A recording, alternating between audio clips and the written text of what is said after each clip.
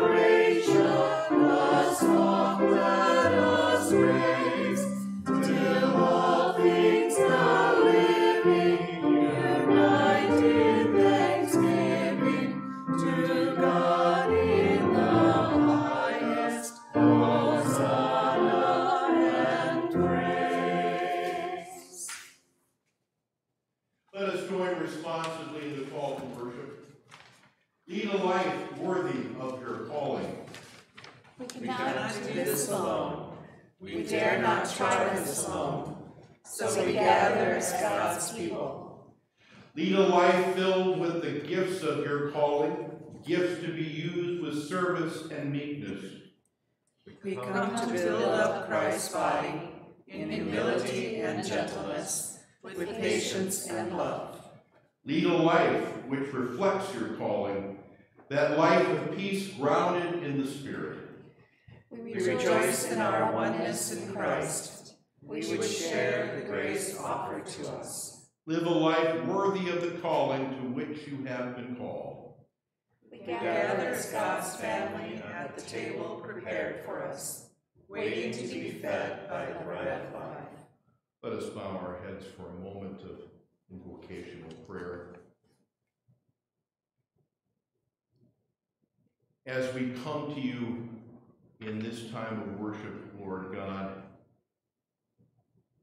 we pray that you may give us a sense of balance between your judgment and your call for accountability and the news of your grace and forgiveness.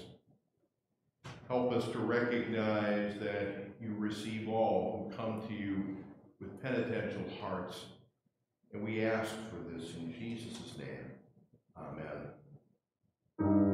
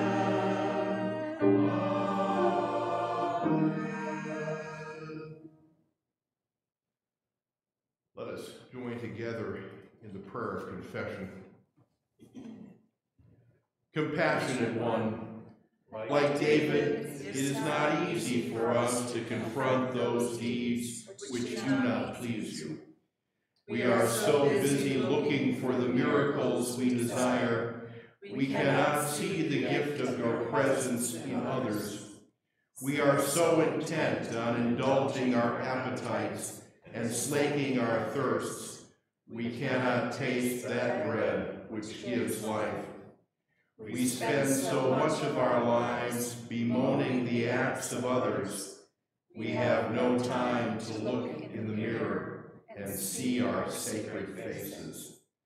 Forgive us steadfast love. Grace us with your mercy so we might be made whole. Touch our inner being and heal us so we might know joy and gladness. Create hearts within us so they might beat as one with each other and with your Son, our Lord and Savior, Jesus Christ. Amen. Hear the assurance of pardon.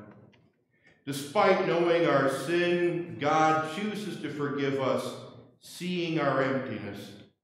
God chooses to feed us, holding our shattered hearts.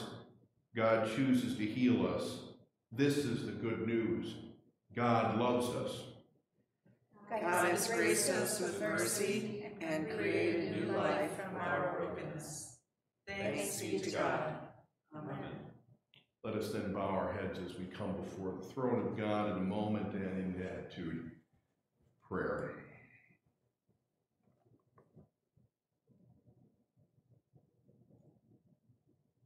Most gracious and loving God, we give you thanks for this day, this new set of opportunities, this day of possibilities put before us. We give you thanks for this time of worship, for the time to be together in community, to be connected to one another in this one purpose. We pray that you may open our hearts this morning. We pray that you may refresh our spirits and renew our inner strength. We pray that you may dedicate us anew to the purposes of your kingdom in this world. We pray that you may help us to make those things a higher priority in our lives, that everything else by extension may fall into place as it should. Help us to further those things that make for healing in this world, for all kinds of healing in every way and every facet. We pray for those who suffer brokenness. We pray for those who suffer with them. We pray for caregivers and those in the healing professions. We pray for those who are tired and exasperated in their search for healing and wholeness. We lift up in our prayers those who mourn and grieve any kind of loss and all kind of loss no matter if the losses are recent or if they've happened in some time in the distant past. We pray for all who wrestle with a sense of loss in their lives and pray that they may find healing in your presence. We lift up in our prayers those concerns which have come to us online. Prayers for Dale Byhofer and Marilyn Rooker.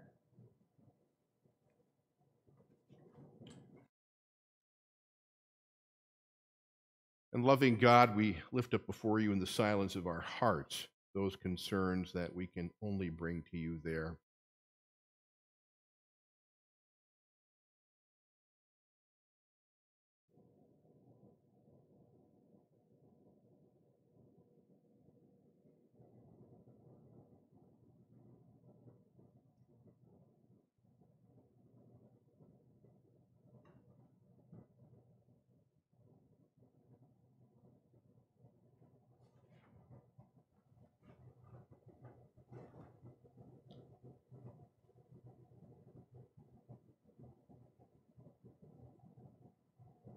Things we've named aloud and for those things which each of us has brought before you in the silence of our hearts, we ask in Jesus' name. Amen.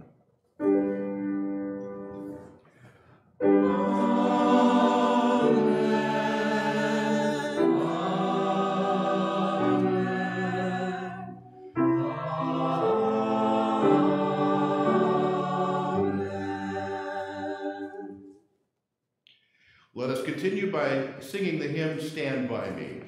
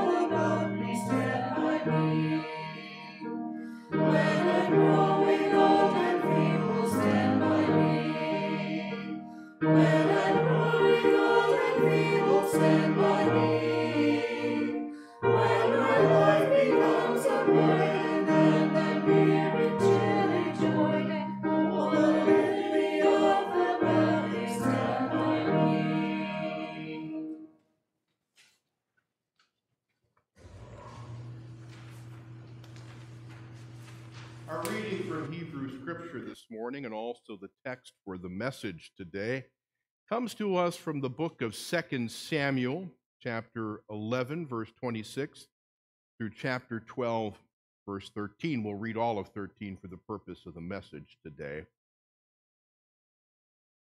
When the wife of Uriah heard that her husband was dead, she made lamentation for him. When the mourning was over, David sent and brought her to his house, and she became his wife and bore him a son. But the thing that David had done displeased the Lord. And the Lord sent Nathan to David. He came to him and said to him, There were two men in a certain city. The one was rich, the other poor. The rich man had very many flocks and herds, but the poor man had nothing but one little ewe lamb which he had bought. He brought it up, and it grew up with him and his children. It used to eat of his meager fare and drink from his cup and lie in his bosom, and it was like a daughter to him. Now there came a traveler to the rich man, and he was loath to take one of his own flock or herd to prepare for the wayfarer who had come to him. But he took the poor man's lamb and prepared that for the guest who had come to him. Then David's anger was greatly kindled against the man. He said to Nathan, As the Lord lives, the man who has done this deserves to die. He shall restore the lamb fourfold because he did this thing and because he had no pity. Nathan said to David, You are the man. Thus says the Lord, the God of Israel I anointed you king over Israel, and I rescued you from the hand of Saul. I gave you your master's house and your master's wives into your bosom, and gave you the house of Israel and Judah. And if that had been too little, I would have added as much more. Why have you despised the word of the Lord to do what is evil in his sight? You have struck down Uriah the Hittite with the sword and have taken his wife to be your wife, and have killed him with the sword of the Ammonites. Now, therefore, the sword shall never depart from your house, for you have despised me and taken the wife of Uriah the Hittite to be your wife. Thus says the Lord I will raise up trouble against you from within your own house and I will take your wives before your eyes and give them to your neighbor, and he shall lie with your wives in the sight of the very sun. For you did this in secret, but I will do this thing before all Israel and before the sun. David said to Nathan, I have sinned against the Lord. Nathan said to David, Now the Lord has put away your sin. You shall not die. Our epistle lesson comes to us from the letter to the Ephesians, the fourth chapter, verses 1 through 26. I, therefore, the prisoner in the Lord, beg you to lead a life worthy of the calling to which you have been called, with all humility and gentleness, with patience, bearing with one another in love, making every effort to maintain the unity of the Spirit in the bond of peace. There is one body and one spirit, just as you were called to the one hope of your calling. One Lord, one faith, one baptism, one God and Father of all, who is above all and through all and in all. But each of us was given grace according to the measure of Christ's gift. Therefore it is said, When he ascended on high, he made captivity itself captive. He gave gifts to his people. When it says he ascended, what does it mean but that he had also descended into the lower parts of the earth? He who descended is the same one who ascended far above the heavens, so that he might fill all things. The gifts he gave were that some should be apostles, some prophets, some evangelists, some pastors and teachers, to equip the saints for the work of ministry, for building up the body of Christ until all of us have come to the unity of the faith of the knowledge of the Son of God to maturity, to the measure of the full stature of Christ. We must no longer be children, tossed to and fro and blown about by every wind of doctrine, by people's trickery, by their craftiness and deceitful scheming. But speaking the truth in love, we must grow up in every way into Him who is the head into Christ, from whom the whole body, joined and knit together by every ligament with which it is equipped, as each part is working properly and promotes the body's growth to the building up of itself in love. Our gospel lesson comes to us from John's Gospel, the sixth chapter, verses 24 through 35.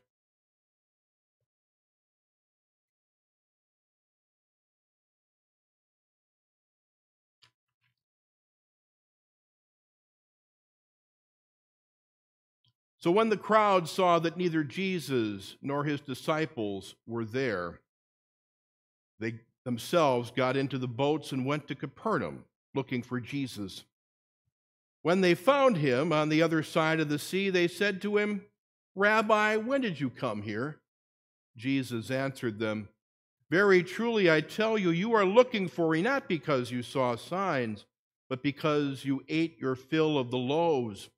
Do not work for the food that perishes, but for the food that endures for eternal life, which the Son of Man will give you. For it is on him that God the Father has set his seal. When they said to him, What must we do to perform the works of God? Jesus answered them, This is the work of God, that you believe in him whom he has sent. So they said to him, What sign are you doing to give us then, so that we may see it and believe you? What work are you performing? Our ancestors ate the manna in the wilderness, as it is written, He gave them bread from heaven to eat. Then Jesus said to them, Very truly, I tell you, it was not Moses who gave you the bread from heaven, but it is my Father. He gives you the true bread from heaven. For the bread of God is that which comes down from heaven and gives life to the world.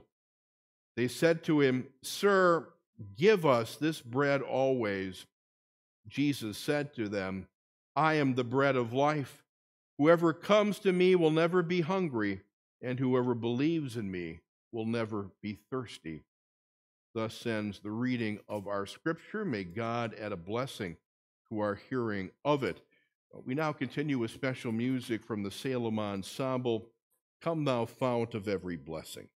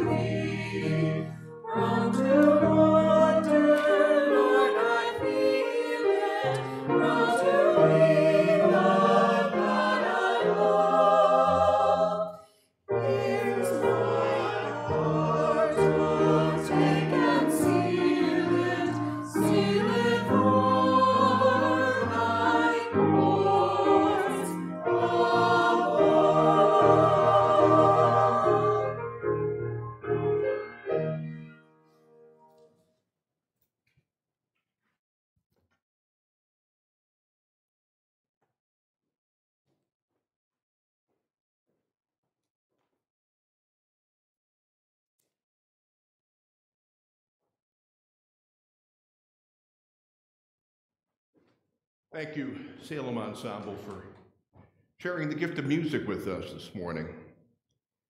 I will confess that within the last 15 years or so, I've uh, taken on a renewed interest in, in genealogy and family history, not only mine, but also Abby's as well.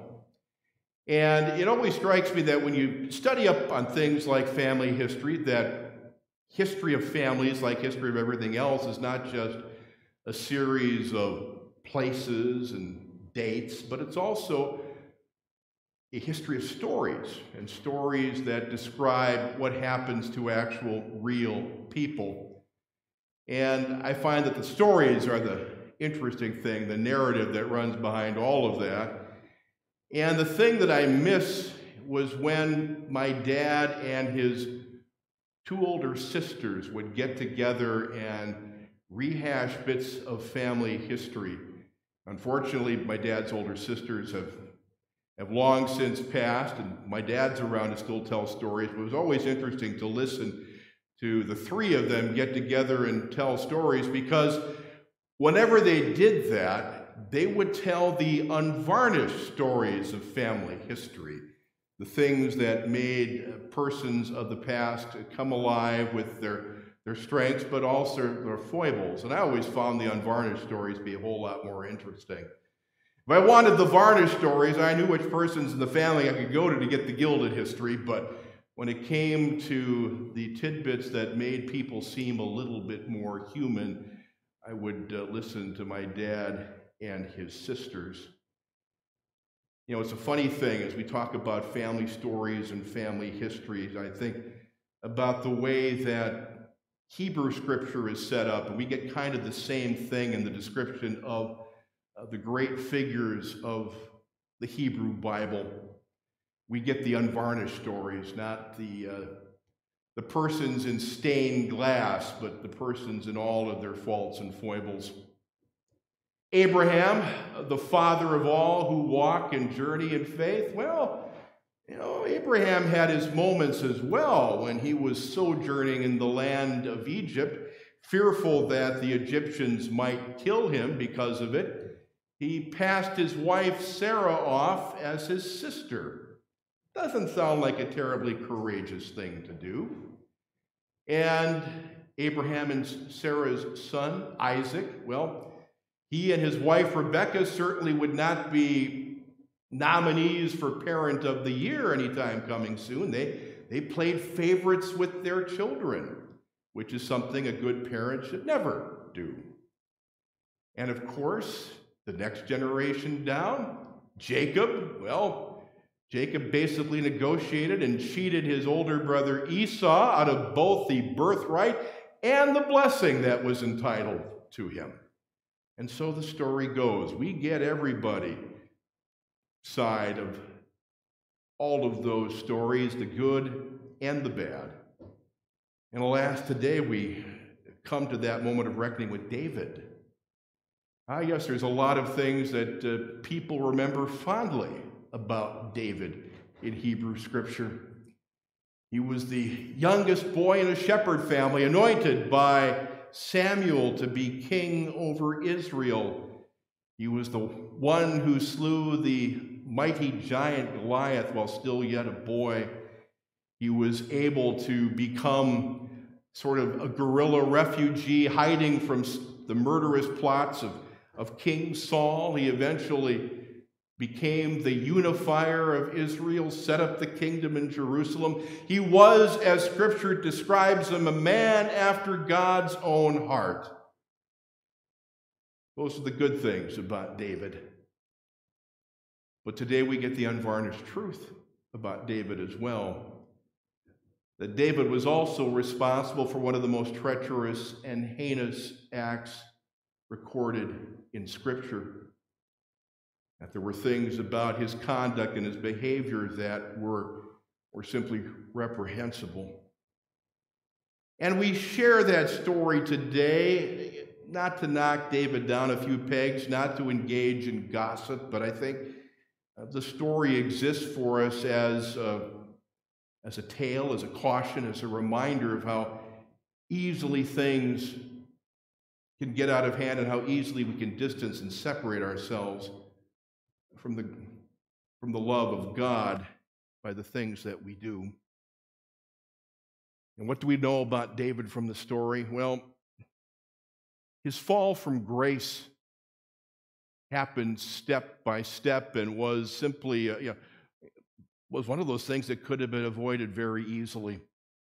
How does the story start off? You back up far enough, and in the spring of the year, we are told the time when the kings go out to war, David, the warrior king, did not go out with his army.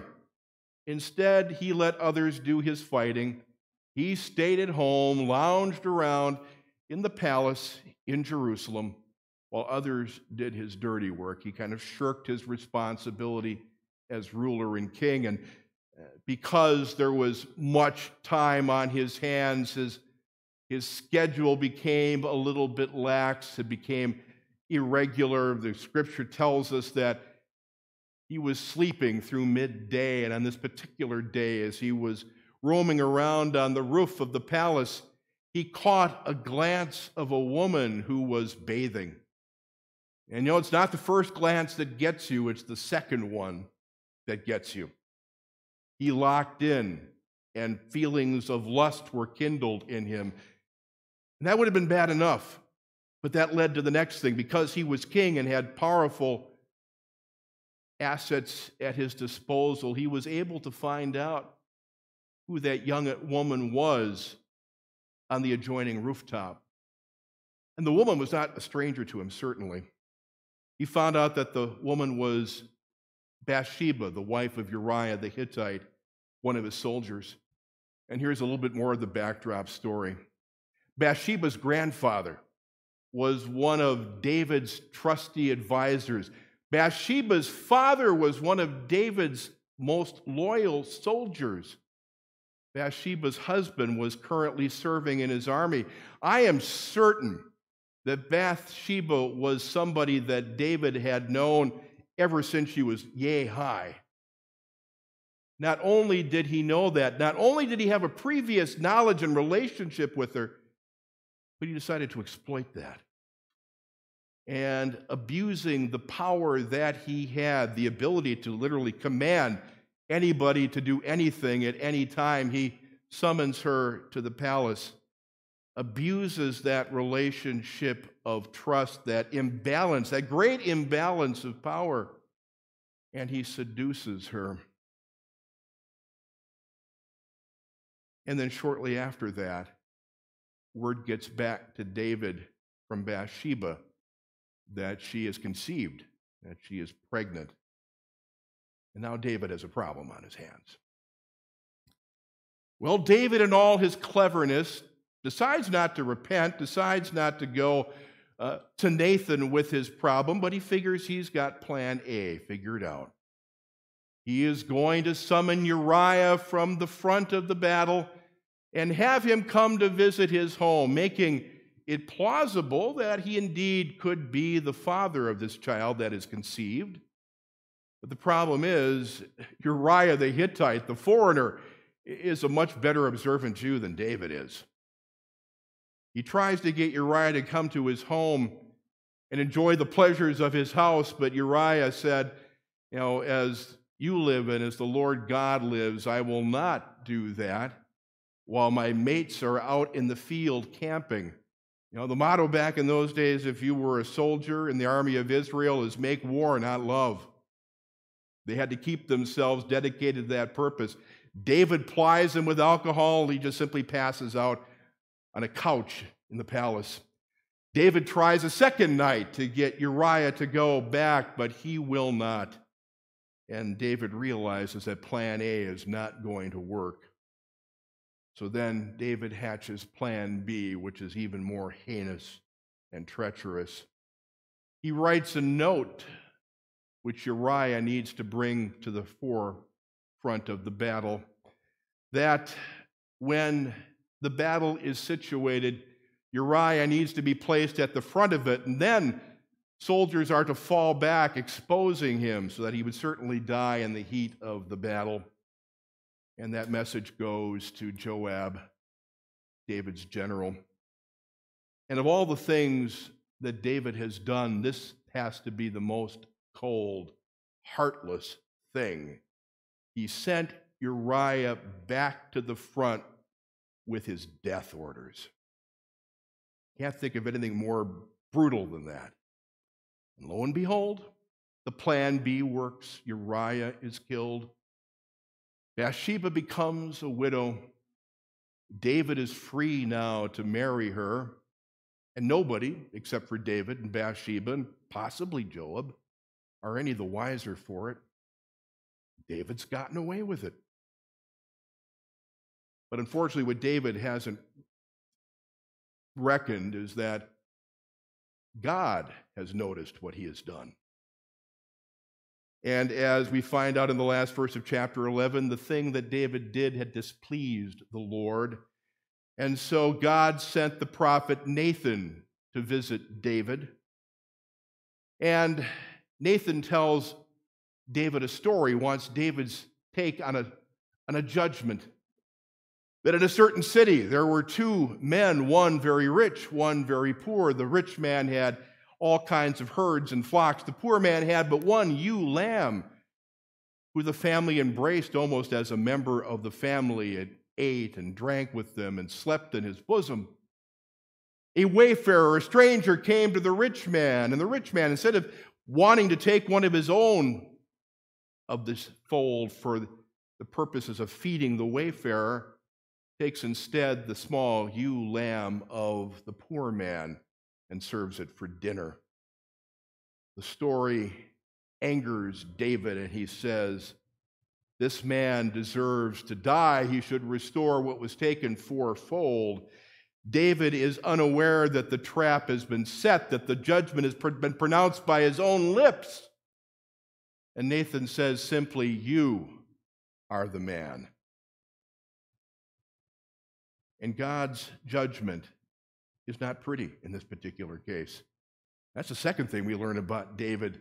Judgment comes even for somebody beloved and blessed as much as David has been blessed by God.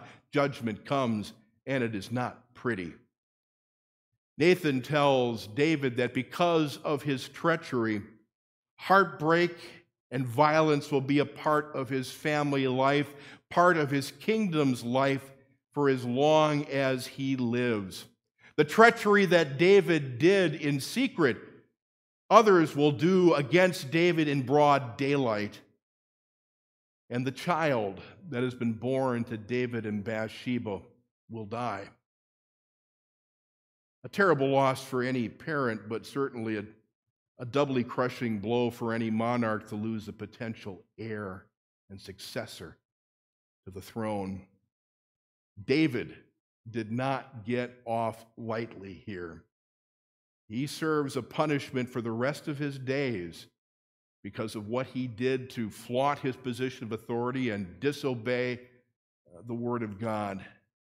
Judgment has come, and there is no escaping the consequences of what has happened. He's not been spared that, not at all. Judgment came even for David, and it came hard because David was somebody who was after God's own heart, and he sinned in the most heinous way.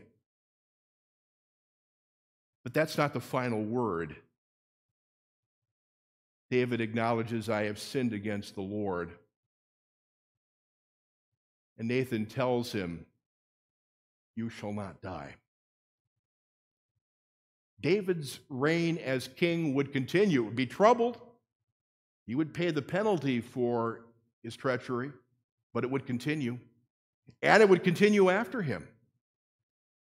The next son born to David and Bathsheba would continue in a line that wouldn't end. That, that son would be Solomon.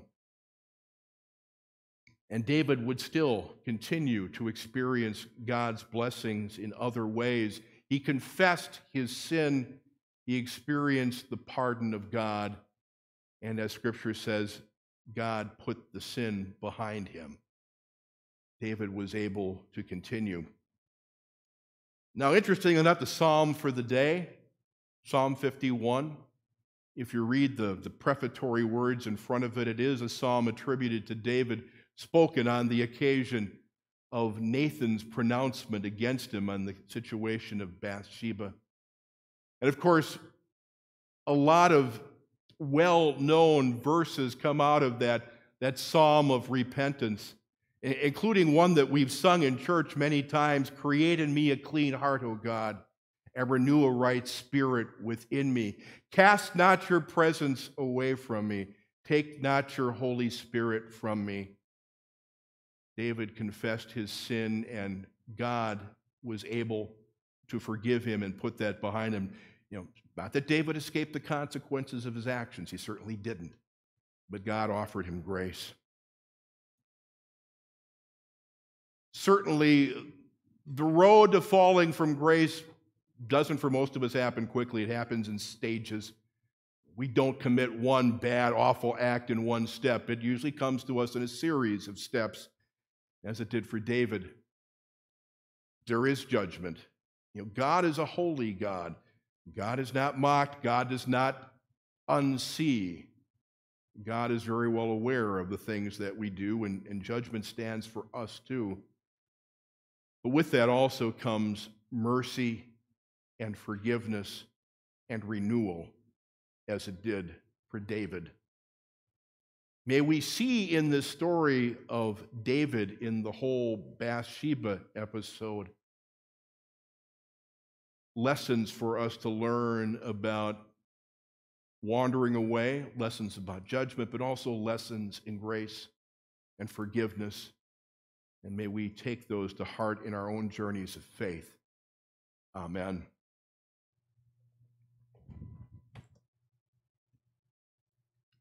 Let us continue by turning to hymn number 372, I Then Shall Live.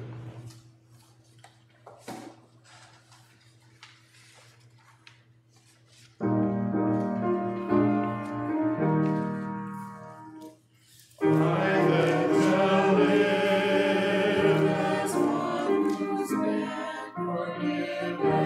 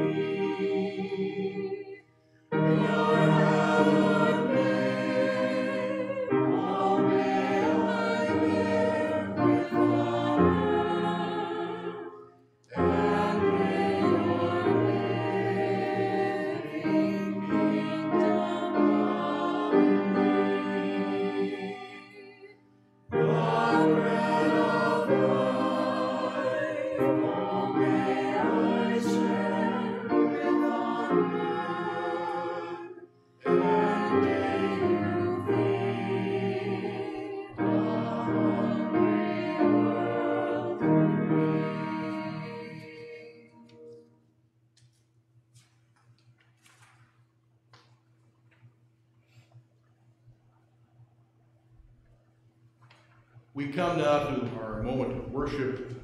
We commit our gifts, our tithes, our offerings. Hear these words of instruction as they come to us from the Apostle Paul in his letter to the Galatians in chapter 6, verses 9 through 10.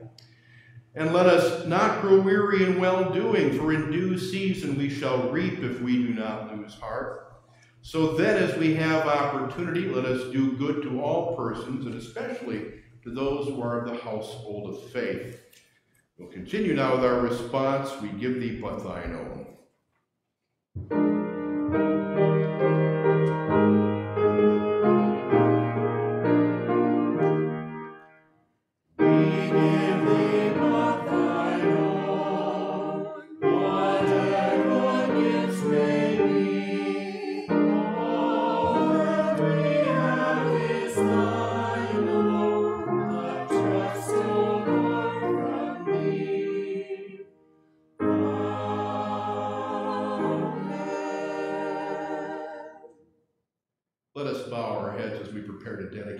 Gifts.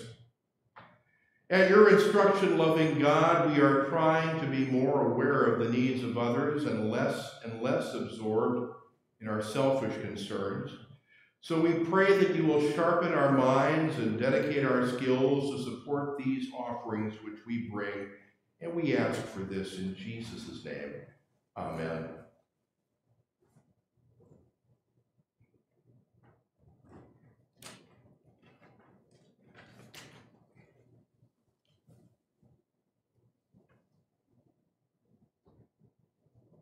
Announcements and acknowledgments celebrating birthdays this week.